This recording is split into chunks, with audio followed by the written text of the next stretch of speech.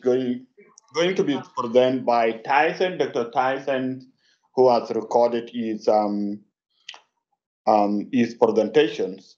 So Tyson is academic researcher and art crit, uh, critic. So he he has done a lot of work in area of art and also area of research. So I'm very keen to hear from the presentation of Tyson.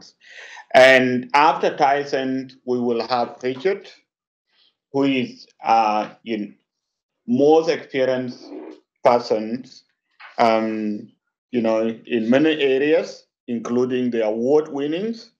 And he has worked with the with the royal commissions looking at the the deaths of the Aboriginals and Torres Straits in custody.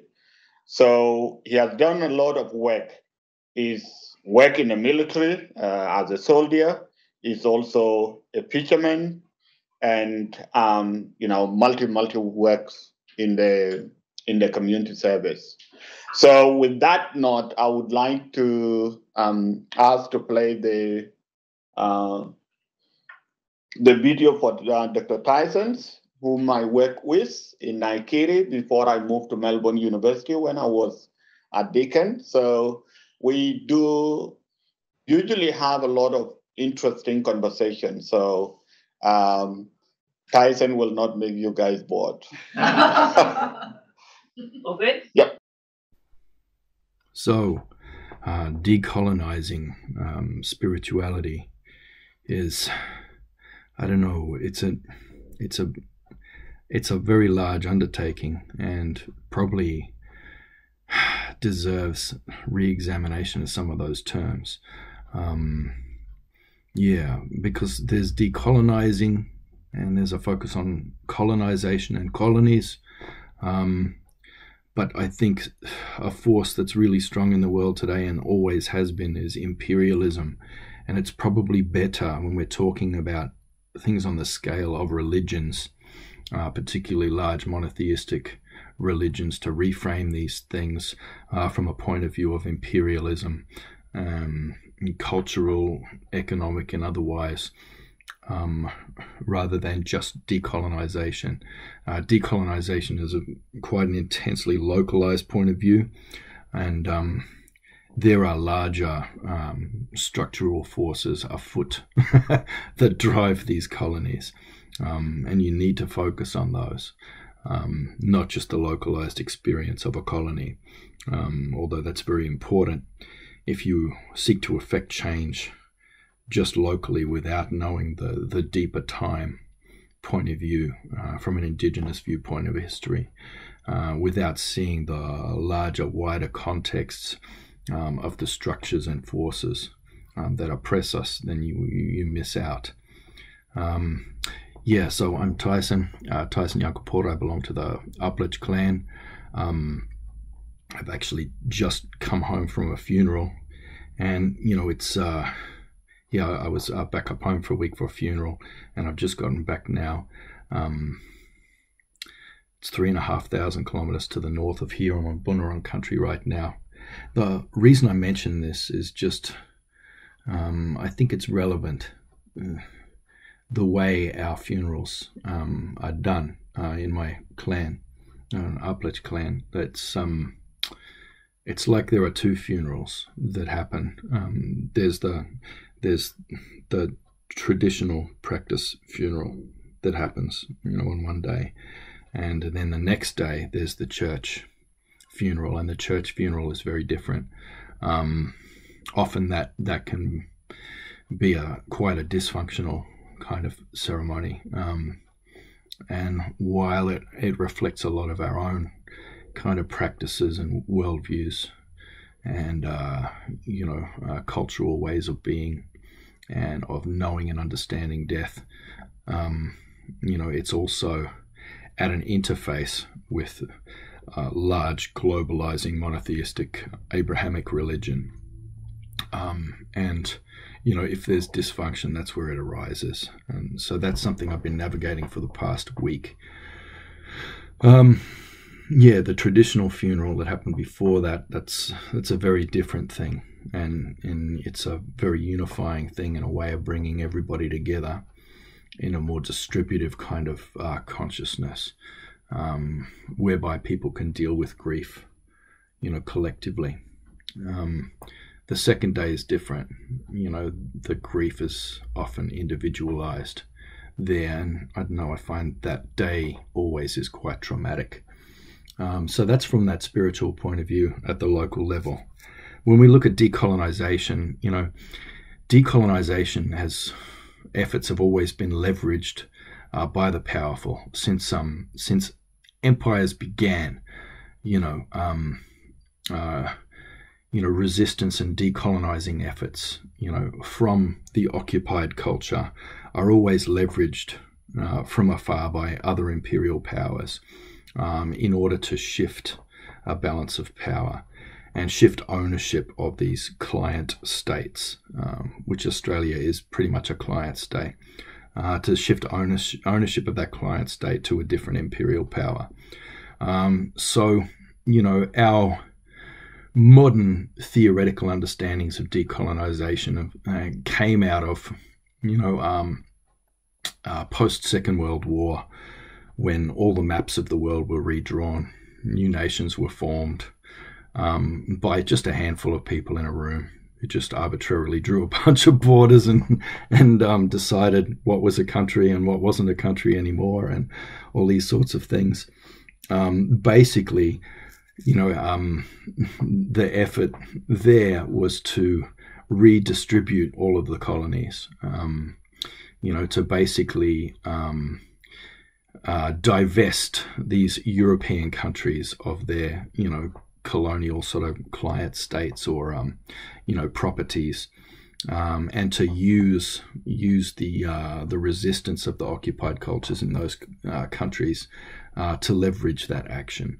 Um, so that occurred over a number of decades following the Second World War, um, where basically the power in the world, the imperial power shifted from European countries um, to the new sort of global hegemony coming out of the United States. Um, we all did the heavy lifting for that. Um, you found that a lot of those decolonizing um, leaders and movements, you know, were supported initially, uh, but soon found themselves um, in a lot of deep caca after the um, decolonizing efforts had occurred. Not many of them survived the aftermath of uh, decolonization. And once they'd won their their uh, sovereignty back, uh, that was quickly eroded, and you found there was a lot of um, you know puppet governments installed. Um, lots of proxy wars started. Um, there were lots of genocides, heaps of genocides and killings and uh, new governments installed, and the people who really ran the resistance efforts of decolonization, um, most of them ended up being killed, um, assassinated, uh, replaced, or, um, or, at best they were um, they were expelled uh, and sort of had to go and live somewhere else, banished elsewhere uh, if they were lucky. Um, so that was decolonization 1.0 decolonization 2.0 has been a um, an, an, a, an, effort grounded in postmodernism, post-structuralism, whereby we don't see the structures and we don't see the systems of imperialism, uh, where we focus our attention inwards and locally. Uh, we center the voices of the marginalized, the oppressed, the colonized, the occupied. Um, we recenter those voices and we recenter those standpoints. Um, and we focus on the idea of regaining power through our voice um, and providing alternative narratives, all these sorts of things. Um, as long as we don't, we never address or even see the actual structures of systemic inequality.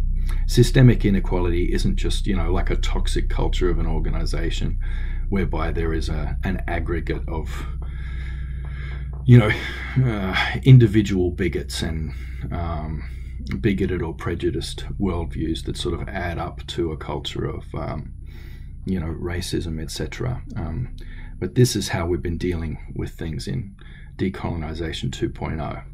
Uh, we seldom address the structures.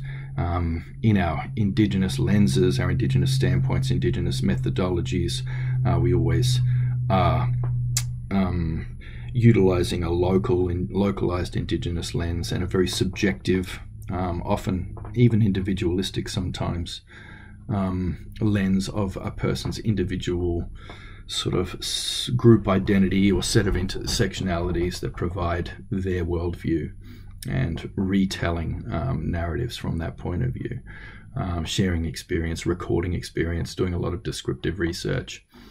Um, you know, uh, critical race theory, when it was in its actual form, um, was more looking at the structures of racism. You know, you look at things like, um, you know, real estate zoning you know, market forces, the way these things are policed, the way these things are, you know, et cetera, et cetera. It's more looking at the real structural things, the economic um, factors, you know, the actual still existing imperialism that um, uh, that serves to marginalize people, not through bigotry or anything else, but you know, um, through those through those economic structures. Um, and particularly utilizing land as capital, uh, real estate zoning, all these things. I think that's the core of it, and the way those things are enforced, um, the way property and capital is protected for you know um, oligarchs and you know an extremely privileged minority. Um, these are the places where our attention needs to be, and if we're thinking about spirituality, um, you know most of the world's spirituality now is mediated, is filtered through uh, monotheistic religions, very large monocultural monotheistic religions. Um, and these are problematic. Um, you know, the the majority of these are like quite, you know, the ones that are impacting the planet the most are the Abrahamic religions. Um, you know, and these are coming out of you know, decolonization efforts of people who were occupied. You know, so if you start with the the Jews, you know, for example, which is the root culture of this, you have people who were horrendously oppressed for millennia. Um, you know, uh, so by you, you, had people who were initially a pastoral culture with a very um, like a wonderful spirituality. Um, but then as they moved away from pastoralism more into sedentary civilized civilization they did what all sedentary civilizations do which is create more of a monotheistic cult. Um, the purpose of this is to um, uh, to increase the sphere of trust uh, for an economy in trade. Uh, this is done through contracts. Now so in the old days there were no ways to enforce contracts beyond the local unless you had a large monotheistic religion um, into frighten people basically into um, honoring those contracts. So if you can get enough people beyond just your city, uh, all following the same religion, um, this began with Hammurabi, um, the co- Hammurabi's code in Sumeria. Um, this sort of the technology, the psychotechnology of religion was pretty much invented there in the Fertile Crescent. Um, and that uh, that technology, you know, was all about getting enough people believing in this uh, this single massive, you know, uh, creation entity, uh, this omnipotent, all-seeing, all-knowing, all-powerful entity uh, that would know if you were lying or cheating. So, and that was invented alongside contracts now, contracts are a way or a technology that is a way of controlling and predicting events in the future and um, ensuring that you can guarantee the behavior of a person in honoring that contract.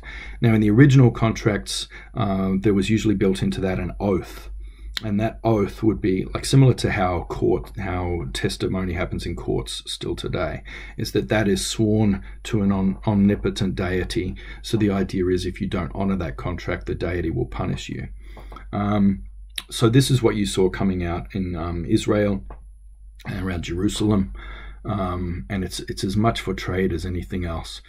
Um, now, Jerusalem uh, is occupied by um, Babylon. You know, the people are, are, taken out, you know, and, and, and spend the next millennia returning and, and then being occupied over and over you know, begins with Babylon, then the Persians invade, then the Greeks invade after that, then the Romans invade after that, after they make, you know, Greece into a client state as well, and the rest of the known world. Um, so you end up with people who are persecuted over and over and over again, occupied over and over and over again, you know, an indigenous people essentially. Now, when that kind of imperial trauma keeps happening to a culture, um, the spirituality of that culture tends to develop a pretty negative outlook. um, you what arises in your religion in your spirituality then is apocalyptic uh, prophecies. You know, it feels like it's the end of the frickin' world, and the only way you can continue is to imagine that there is some force, some power of spirit that is going to restore you and that is going to punish the people that have oppressed you and occupied your lands and destroyed your your culture and your community and taken your children as slaves um, uh, assimilated your children into a, a larger imperial economy um, that's basically destroyed your sovereignty and made you dependent on this large economy of this empire. So, what you have coming down in all the Abrahamic religions coming from that is always end times prophecies. You have uh, a culture of, of uh, a rapture basically um, a rapture ideology emerging from all these. And every time when hard times start to come around, the rapture ideologies increase. And we can see this, you know, still happening today. Um, uh, so you, you, end up uh, in the United States, particularly, uh, but all around the world, a lot of different um, rapture ideology cults emerging and becoming religions in their own right. Um, and these things see the only hope for the future in an end of times, an end of the world, a complete destruction of everything, where everything will be wiped clean. And, you know, the people who imagine, who are oppressed or even imagine themselves as being oppressed, are somehow raptured, are taken up, and given their ultimate reward, and that their enemies will be punished. So, you end up with. Um, you know this idea of you know um, power as something that people need to be able to seize you know in their community uh, so you know the power of of, a, of an all-seeing God but also the power of a government you know which is you know sanctified um, by this God uh, the power of a government uh, which is there to punish your enemies um, and to ensure your privilege and continuation into another world. Uh, this is what we see all around the world at the, at the moment. This is what we see, like, particularly in the United States, but spreading out to everywhere. Uh, you see coming through all of these apocalyptic cults, um, which are uh,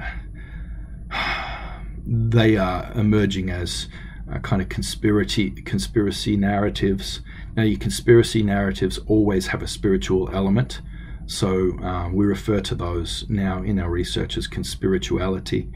Um, uh, and this is good story, you know, because a lot of the stories for the world and the history that we're presented with, and the news and the media that we get for all of our uh, knowledge of global events, um, it, it's not very good story. There's never spirit is never part of it. so all of these big narratives emerge you know, which is about good and evil, heaven and earth, um, angels and demons. You know, people who are vaccinated are demons now. People who, you know, um, uh, who are female and want to control their own bodies, they are demons. Um, you know, so there's a kind of all or nothing thing that's contributed to a massive, just irreparable divide where there's just one extreme on one side, one extreme on the other and each thinks the other is the source of the end of the world and are demonic entities uh, that must be destroyed.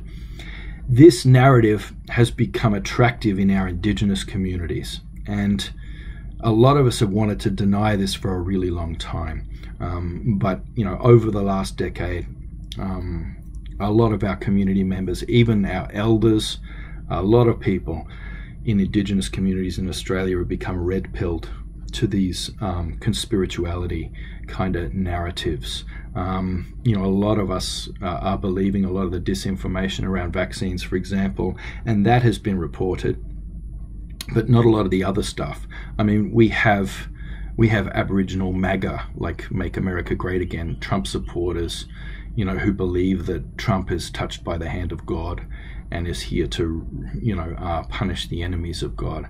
Um, is a lot of people who believe. I mean, it's easy to believe it if you've lived through stolen generations and you're in a reality where more kids are being taken from Aboriginal families and Torres Strait Islander families than at any other time in Australia's history, it's easy to believe that there is some force somewhere, some conspiring demonic group who is taking children and draining them from their blood and drinking their blood and torturing them and abusing them. Um, because for a lot of us, that is actually our reality. Um, so when we get these narratives from overseas, that are about you know satanic forces, uh, you know taking children and and you know uh, drinking their blood and um, abusing them and you know trafficking them and all these sorts of things. Um, which is usually projected onto like one political party, like oh, the you know Democrats, they're they're run by Satan and they etc. And they're all groomers or they're all this or all that. You get these really absolutist kind of narratives and factions emerging, and we're not immune to that. I know a lot of our elders who are have been sucked into these things, um, really quite badly. Um, and we're going to have to reckon with that at some stage. Um, you know, uh, these narratives are informing a lot of the geopolitics, you know, in the world right now. It's particularly terrifying when you think that these are all coming from rapture ideologies, uh, from religions that are basically always sitting in anticipation of the end of the world. We have to recognize that that is what always emerges from systemic imperial abuse.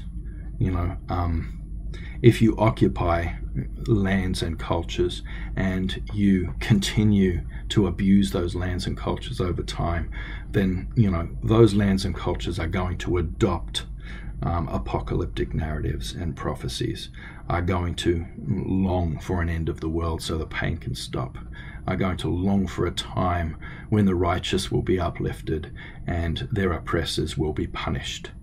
Um, the worst thing that you see with this is a lot of white minorities uh, globally, um, uh, white supremacist groups who are, pushing a narrative of what they call the great replacement. This idea that um, that it's actually Europeans who are being oppressed, you know, by all these colored people around the world, and that somehow the Jews are running that, and that there's this big conspiracy to replace them, and that there's these di- demonic forces, and that we need the white hats to rise up, or something like this.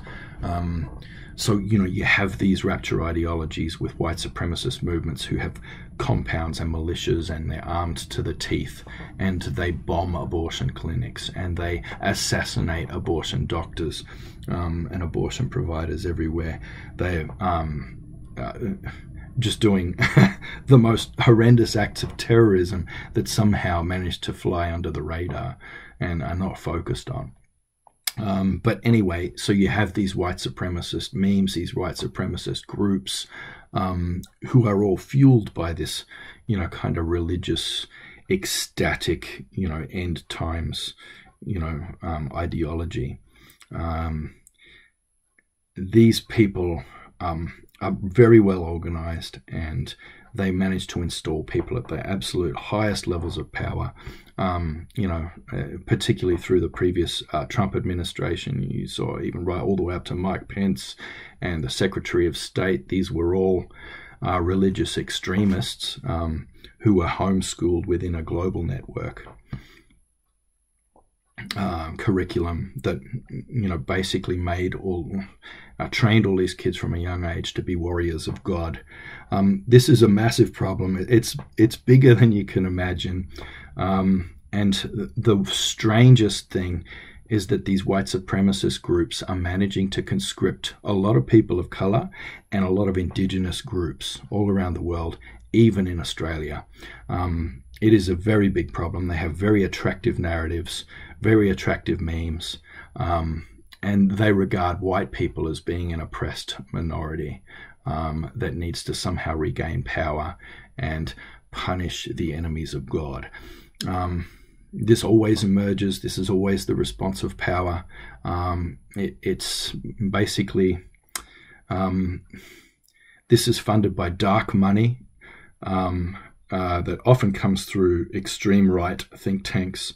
Um, but also a lot of other organizations. This is funded by dark money from people like the Koch brothers, etc., who are, um, you know, uh, massive oligarchs who want to create as much disruption as possible and make sure that um, you know people don't organize around I don't know billionaires paying some taxes, um, organize around things like you know social justice and creating you know a safe world for people to live in, and all these things that are not good for the bottom line of the people who are stra- extracting from the planet.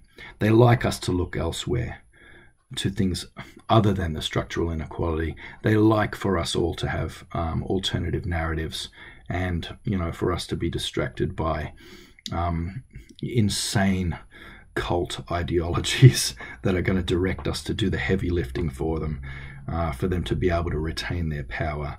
Um, that's pretty much where we're at. Um, we don't have a colony problem.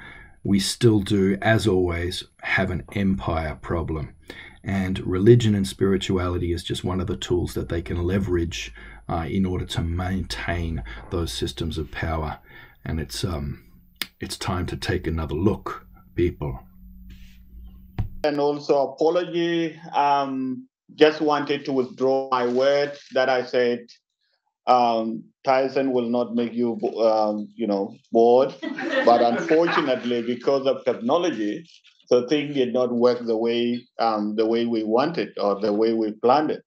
So now um, we need to give the opportunity to um, Richard. It's your turn. That will be great. And I failed to mention before, both Tyson and Richard are from our First Nation people in this country. So, um, so there, there, there's a lot of similarity that may come out uh, from their presentations. So, uh, Richard, take it over. Uh, thank you very much. Um, I'm not sure if you can hear me or not. Uh, can we hear me? Um, yes, I can. Oh, excellent. Thank you. uh, no worries. Um, I was going to just uh, uh, do a bit of a presentation if that's all right. Um, so, firstly, let me pay my respect to traditional owners, past and present, and to all of you here. Um, and thanks very much for having me. Um, I'm a Gunditj Mara fella, uh, and I celebrate a lot of cultures. I'm a very lucky person. Um, and I've been a, a first line activist um, in a lot of different areas. I um, grew up under the assimilation policies, which was quite difficult. When I was a young man, about 25, I was investigating deaths in custody for the Royal Commission, and it was a difficult job. I covered two and a half states, and they renewed the contract every three months. I did that for four years, investigating police and prison officers and the system itself. Uh, was a an emotionally and spiritually and violent role. Um, I went to a dinner party and it was the first one I'd ever been to as a First Nation person. Um, and I remember clearly a woman on the on the way there. I there was an act of violence against me, and um, I'd seen a lot of violence in Australia, racial violence.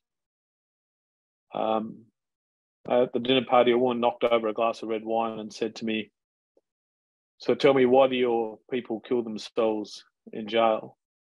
And three things struck me the first was uh, your people. So, in the words of Marcia Langton, we were the undifferentiated other. The second thing was the assumption that everybody killed themselves, and this simply wasn't the case.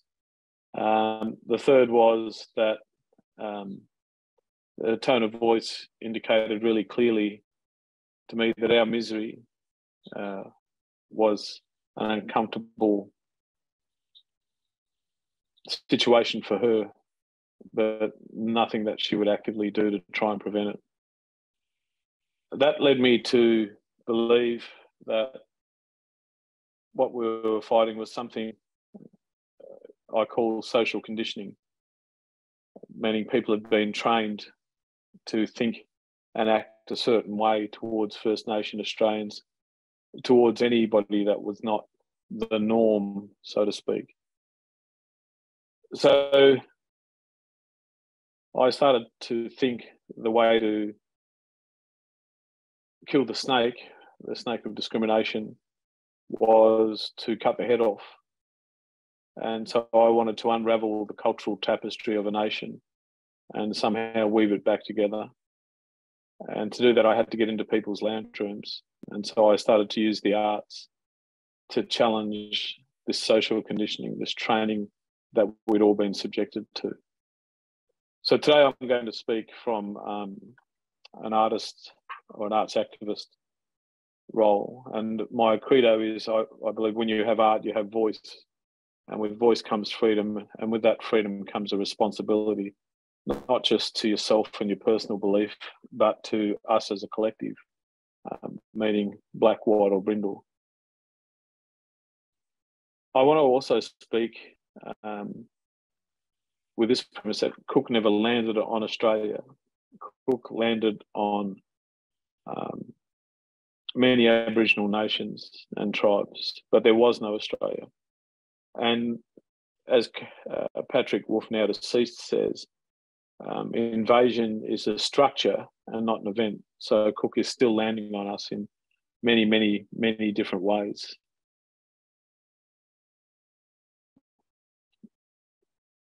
This is what Cook landed on.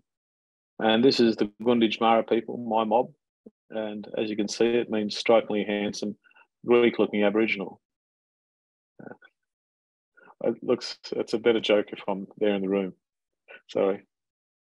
Uh, this is um, what was alleged within the education system and within the common mentality of people that Cook discovered.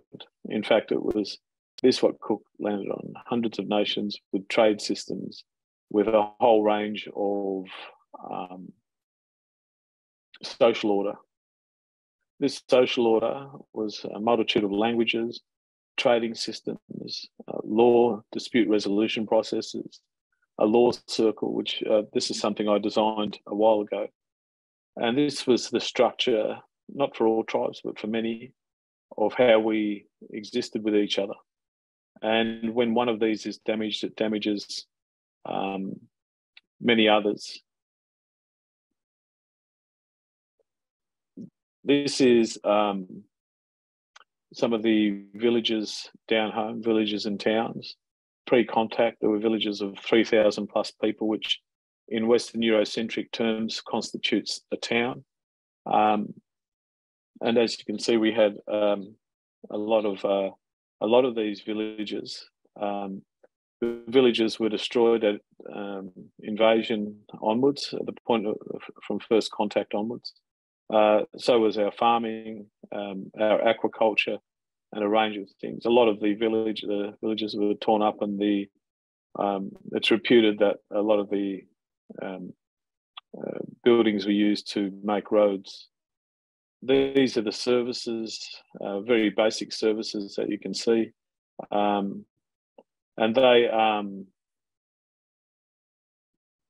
they uh, the interpretation of what is a service differs with uh, cultural interpretation. There were dispute resolution processes. Um, um, uh, contrary to the stereotyped belief, um, the worst punishment was exile from the community, not so much a physical punishment, but physical, not as in the spearing or beating, but um, being exiled from your community. this is the shape of a Ngarrindjeri, uh, which is a neighbouring tribe dispute settlement process. And there was also a parliamentary system. I'm showing you this to give you an indication of uh, the destruction that um, ensued after uh, the beginning of colonisation, or the cultural bomb, as Ngugi Thiong'o puts it. These are the six seasons of my mob. Um, as you can see, we're in tune-up uh, cockatoo season. This is pretty cold time.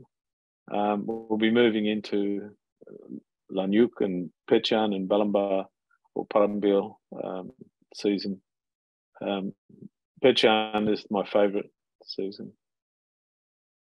Um, Ngugi Thiong'o, this amazing Kenyan intellectual, says that when uh, the colonizers come, they drop a cultural bomb on us and then convince everybody, including the first peoples, that uh, their past before that point of contact is a cultural wasteland. This is a devastating thing that knocks us all about in a whole heap of ways. And it creates a cultural divide and uh, an us and them type of attitude. W.H. Stanner did a speech in 1969 um, called The Great Australian Silence. It was one of the Boyer lectures. And he spoke about three key points, which to my mind still exist today homelessness, um, which again was reinforced by a legal fiction. Um, uh, disconnect, we were disconnected from our country, powerlessness, no lack of acknowledgement of our authorities or our structures, uh, poverty, so no recognition of our economies, um, and a limited access to the dominant culture, which in the context of colonialism um, limits our involvement or our growth. A disorientation or confusion, so we've got no place to fit, and our clear roles that we once had um, were, were taken as we can see from this, um, we can see that this is ongoing. It, it didn't begin and end um, as an event. It's a structure which is still around, and the role of many of us, in particular artists, is to try and conform that access point um, to the wealth and power of society, so that we all fit through. This created five primary traumas for First Nation people um, the transgenerational trauma or intergenerational trauma, discrimination trauma, which when we look at the studies of Vic Health, we can see that 98% of First Nation people encounter some type of um, discrimination at least eight times a year. The cultural load trauma, this refers to the complexity of our lives and the amount of grief, funerals, chronic illness, incarceration. The lateral violence trauma, Biko, Steve Biko, the wonderful activist, says that the greatest weapon of the oppressors are the minds of the oppressed. And what happens is we don't punch upwards, we end up uh, striking out at each other. And people uh, see this and think that we haven't got it together. And one of the most complex, which I experience all the time, is how do we navigate the dominant culture? And that, that creates a trauma in itself. There's another one called vicarious trauma, um, which is the retelling of these types of stories. The traumas compound together and create a super trauma when we are confronted with things like bushfires and other types of trauma. So, how I navigate trauma and my trauma recovery process is utilizing the arts. And I created a uh, I, I, I work in many disciplines, but I created a process and a mindset. Um, and the mindset is that we have to diffuse the cultural bomb. We have to reseed the cultural wasteland. And we must see clearly how our brothers and sisters are doing this already. And by brothers and sisters, I don't mean just First Nation people, I mean all of us. And very importantly, we must also recognize how we are doing this uh, with ourselves, not just within ourselves, but how we're physically actively doing this. I use this type of strategy, the five W's and the H, to perpetually analyze how I'm doing this type of stuff. Again, I come back to the law circle and I use this to remind myself and ground myself. Um, and this is a very basic one. We don't really have time for me to go through it, but I'm happy to for people to contact me and to walk them through it at some point. But essentially, they want to change the Western Eurocentric system wants us to change our cultural shape to fit into all of these different silos, and that can be quite uh, traumatic. And this is part of navigating the dominant culture. And this tells us clearly, in my opinion, why we need um, First Nation organisations, programs, institutions, and reclamation of, in particular, reclamation and maintenance of cultural programs. Muriel Bamblett, who's the head of the Victorian Aboriginal Childcare Agency, says that um, basically there's three points to culture about meaning and identity. One, everybody's got culture. Um, two is we all need culture. Otherwise, we end up creating subcultures, uh, which can be good and bad. And three is we're seen um, by the broader world um, within our cultural framework or our cultural setting. And that again can be good and bad. Um, once we had cultural safety, and cultural safety is the ability to practice our identity, um, our culture, without any challenge or denial on who and what we are. And it's also about shared respect and shared meaning. This term came about um, from the Maori nursing fraternity, and we use it. We a lot of our organisations and institutions use cultural safety as a way to change the lens of the dominant culture. Uh, it's a very interesting thing. I, I, did a study where I interviewed 131 people uh, with a team of people, um, asking 90 questions across six communities. Again, I'm happy to make um, that, that the outcome of that research available to people if they like. This is uh, Patrick Wolfe, who I referred to before, and we see clearly that he says that um, invasion is a structure, not an event. Uh, and we live with a nursery version of history in Australia. Um, it's changing. I'm really great, grateful for that. Um, but we weren't told about the massacres and the battles and the wars and the destruction. Uh, it's quite an interesting um, approach by the colonisation process. So we also live with a lot of cultural loads, and this is quite often invisible to our non Aboriginal brothers and sisters, and sometimes to our own. And Steve Biko, the greatest weapon of the oppressors are the minds of the oppressed. So I use art as a resistance and capacity building tool, and I call it cultural strengthening as well. Um, I use it to facilitate voice. Um, there's a whole heap of songs and poetry and films and theatre that I've done I use it to maintain uh, culture and also to retrieve culture. Um, I've recently uh, doing I'm doing a deal where I'm building a, a Tomorrow Australia or a healing centre on three acres that I'm going to license to um, a group, and the purpose of that is to train the trainer in um, trauma recovery processes using cultural strengthening and using art. Um, it's a, a daring venture. I don't know how I don't know how I'm going to go, but I've been having a crack at it for about five years. Uh, so my family and I are uh, licensing three acres on Gunditjmara country to try and get this going. I'm happy to say Deakin's, um, there's pockets of Deakin who are interested in supporting it as well.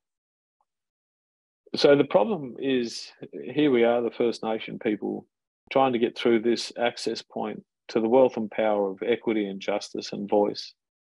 And all of this is in the shape of the dominant culture, a different shape to me and my life and the things that I experience as a First Nation person. And what we do, what we academics do, and artists and a whole range of people, is we try and work out why these pathways are dangerous and why this is in such a dominant cultural shape. And we try and work out ways to change it really it's about changing what is wealth and power in many regards. Uh, and there you go, that's uh, how we get stopped. So we see that there was a different idea about wealth and power. Um, and this has changed a lot. And there's uh, more and more people who are looking at um, these types of uh, things as a wealth and power. And so I see this social change happening in Australia. Um, there were heaps of crossovers, um, and now what I see is um, this glass ceiling where um, in the Victorian government, as an example, there's 1,500 First Nation people employed, all in identified, not all, but 90 plus percent in identified positions. Um, it's hard to be employed as a human when you're First Nation. You are often in identified positions. Again, it gets stopped. I got through. I had a film at Cannes in the 90s, I think it was. Uh, but in Australia, uh, I could only get films with Aboriginal subject or content matter until I ended up being um, able to direct uh, a show called Blue Heelers. Um, and I was in culture shock that I was hired as a human. Um, there's a whole heap of barriers to success uh, that uh, we call the glass ceiling. This is from a study I did in 2009 um, with a group of people, First Nation people mainly, um, where they felt they were often in positions uh, doomed to fail.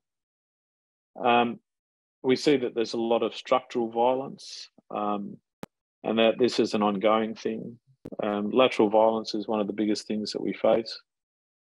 This is an example of what's happened to us in relation to social order. So, pre contact, we were able to move up the Maslow hierarchy of need quite easily. Um, invasion meant that many of these things were taken away and we were placed on missions um, or became fringe dwellers and became voiceless in a whole heap of ways. In fact, became invisible. Um, just checking, there's a chat there. Oh, there we go. Um, so we can see that um, uh, one of the concepts I have is we return to a First Nation culturally safe society. But we can't do that alone, um, and we can't do that in isolation.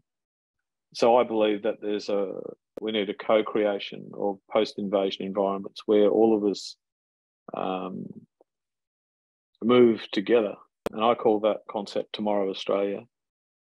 Um, to achieve this, we need to we need actions that combat racism, lateral violence, and pr- promotes and uh, adequately resources um, cultural solutions. I use these as my tools. Um, I also do a lot of community capacity building work. I go into communities. Sometimes there's a lot of suicides there.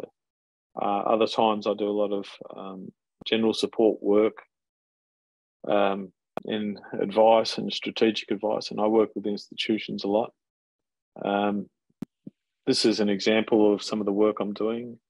Um, this is um, I'm working with a lady called Amanda Hitton, who's um, designing some stage performance clothing, and these cultural icons that you can see.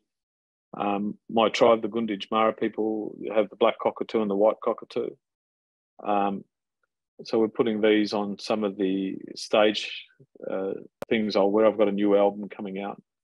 Um, and they, it'll be these types of things which will be painted on and pressed on, on uh, the sleeves. And there'll also be the inner lining of a jacket. These are all symbols from my mob. Um, I asked them to put colour in them. To uh, they mean a whole heap of things, from meeting place to uh, pathways to uh, other meeting places, to the sun, to um, uh, rivers, and so on. Um, this is the song I did called Malcolm Smith, which was picked up by the New York Resistance Choir and sung um, by a whole heap of ladies. And they asked permission to change some of the lyrics to include a couple of deaths in custody over there, uh, George Floyd being one of them. Uh, I don't think we've got time to play this. Um, and I'll, oops, I've started playing it.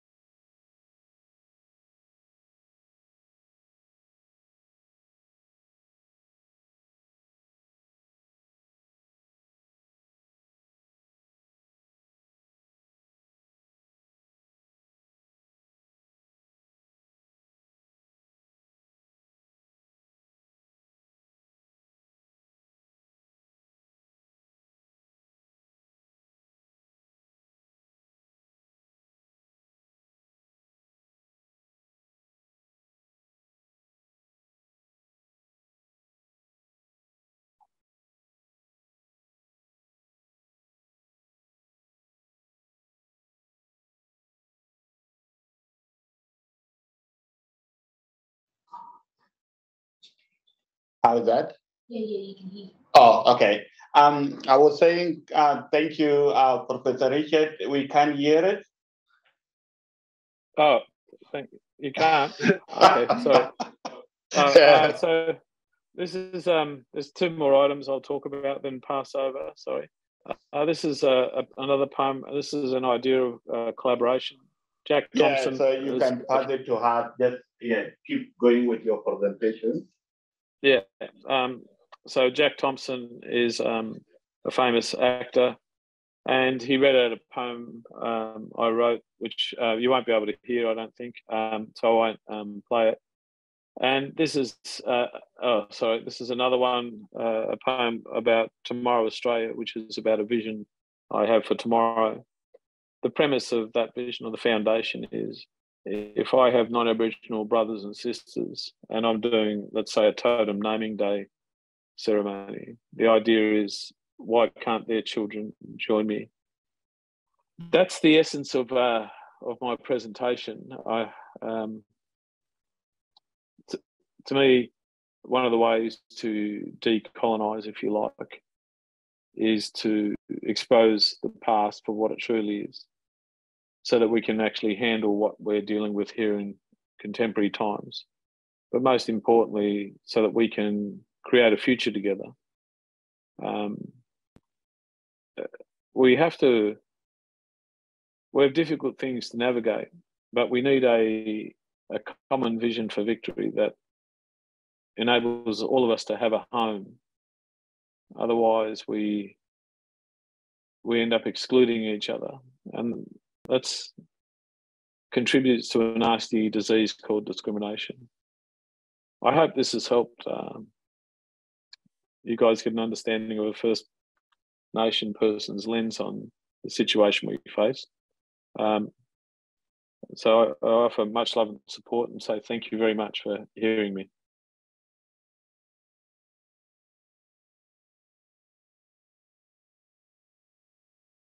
Oh, I can't hear you. Um, thank you, thank you, Richard. Thank you very much. Um, and it is a nice way of closing it, killing the disease, um, the discrimination disease, or it's a, it's just a nice way. Now, I wanted to invite people to